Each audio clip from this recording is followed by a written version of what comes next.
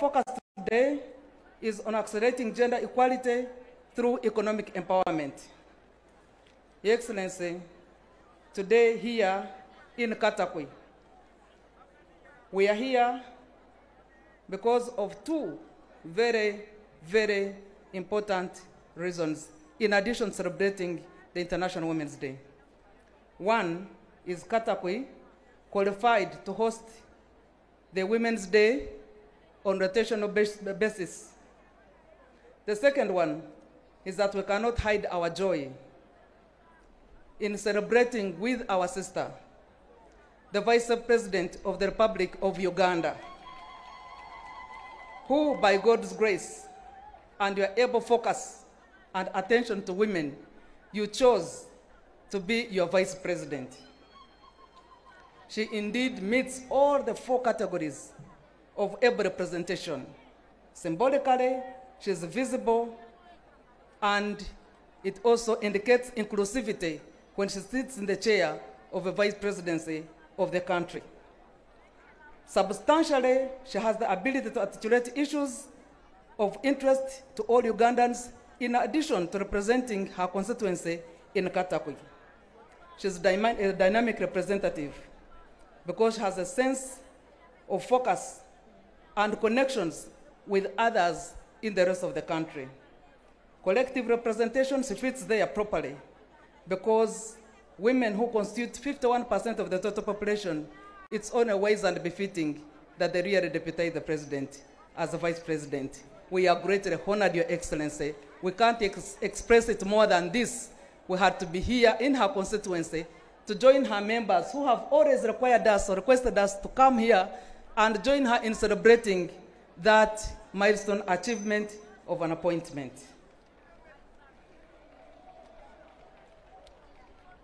Ladies and gentlemen, socioeconomic transformation is at the heart of the NRM government. In several national development plans, women have featured openly and clearly. In the National Development 1, 2, and 3, and we continue to focus on women in the fourth National Development Plan as we, plan, as we take it up. Today is a day when we take stock of the achievements.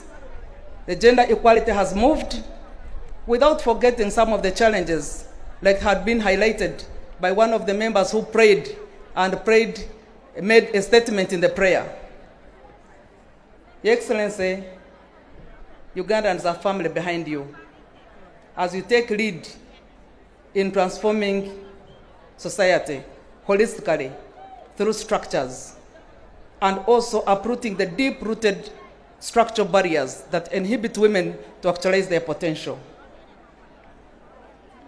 It is an order, Your Excellency, and distinguished guests, to acknowledge the people of Katakwi for hosting the 2024 International Women's Day and the warm welcome they have expressed as each one of us walked into this podium. We want to thank the leadership of our sister,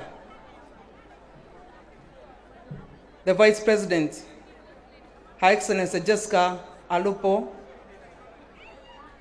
Epel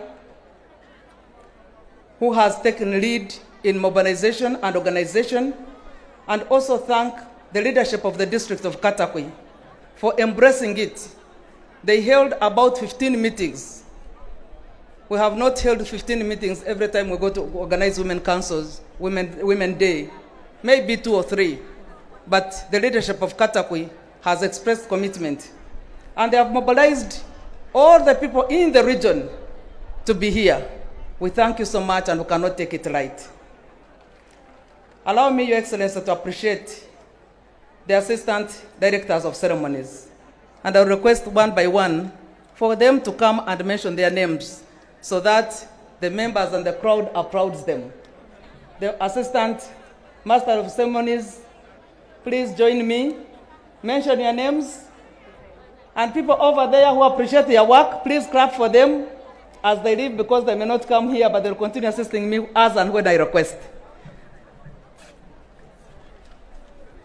In order. Mention your name.